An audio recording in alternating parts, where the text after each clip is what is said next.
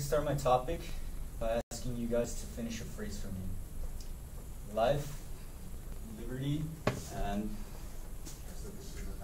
pursuit of happiness. And ask you again. Life, liberty, pursuit of happiness. Does anybody know where that's from? Declaration of Independence. So, this is a phrase that I immediately thought of when thinking of the subject of euthanasia, or voluntary euthanasia, or physician assisted suicide. So, Thomas Jefferson basically said that every human has unalien- unalienable rights to life, liberty, and the pursuit of happiness. All of you enjoy these rights every single day, but imagine for a moment if you did not enjoy liberty or even the ability to pursue happiness, which is what most people live for.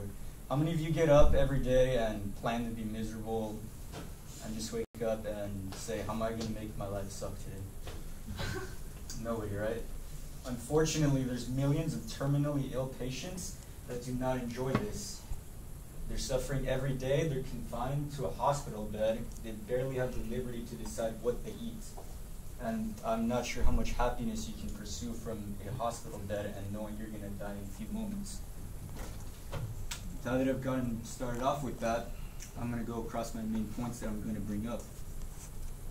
Basically, what I'm trying to communicate is that many terminally ill patients are deprived of a fundamental right to die in a dignified manner and to be relieved of suffering. So, I'm going to go across how euthanasia would provide these patients with relief and a dignified death, how it is beneficial in the healthcare spectrum, and how it is a fundamental right that is intrinsic to every human life and essential to every person's well being. Okay, so terminally ill is a medical term that basically states that um, an illness is going to result in inevitable death despite any intervention to try to attenuate it. So, it's physician assisted death is only legal in Washington, Oregon, Montana, and Vermont right now. And according to the CDC and their government websites, there's over 1 million terminally ill patients in the United States, and 55% of them do die in great pain and agony and anguish. And I, that's really not a dignified way to die. So euthanasia would provide the option to, I guess, accelerate the process and without having to go through any of the pain or any of the uh, any of the repercussions.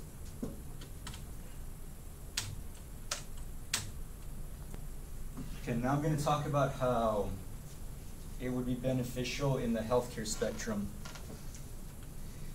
So, um, I read an article on USA Today called Debate Sounds End of Life Healthcare Costs. And it states that keeping a person alive that's terminally ill for a year racks up $129,000 worth of expenses every single year. And that goes to the families. There's more expense. That's, that's for the families themselves or for whoever's paying. There's also expenses racked up by the facilities and healthcare system in general. 27% of Medicare's annual $327 billion budget, and 1% of a billion is 10 million. Then multiply that by 27, then by 327, that's an exorbitant amount of money. It's spent towards keeping a person alive in the last year of life. So that's just for one for one year, spent towards keeping all the people alive.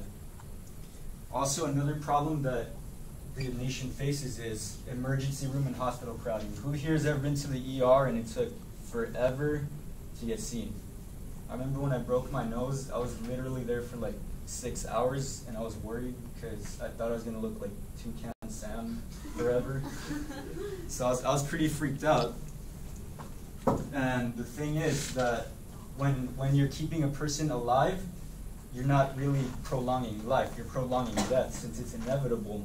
And all of that space and resources and budget could be, could be allocated towards um, preserving the life of people that actually need it or that can benefit from it.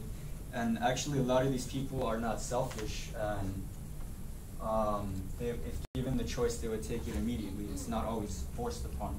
That's why it's called voluntary. So, how many of you believe if you have the right to life, then it's kind of implied that you have the right to death?